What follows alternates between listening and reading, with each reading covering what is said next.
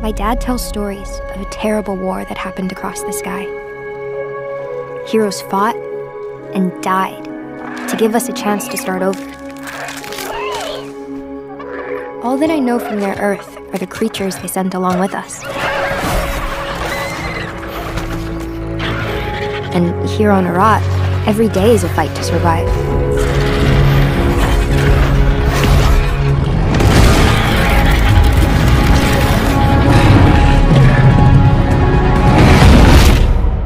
Anyone can tame this new world, we can.